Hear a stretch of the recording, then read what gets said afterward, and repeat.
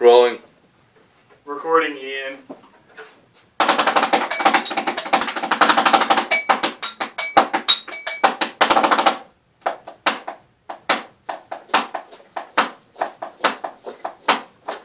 Oh yeah.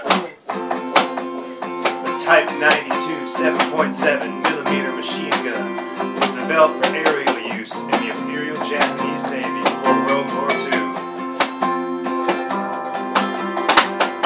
standard handheld machine gun in multi-place IJN aircraft during the most part of the Pacific War.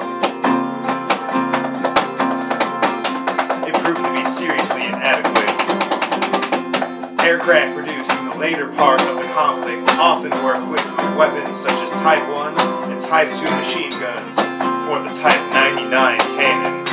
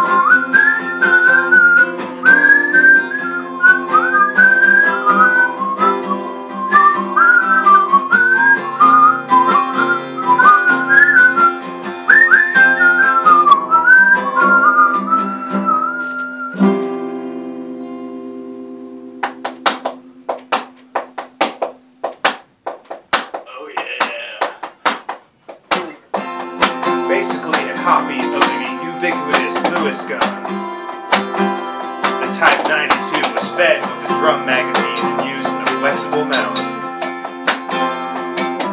The main external difference between the two models was the latter's lack of casing and cooling fins around the barrel and gas piston tube, as well as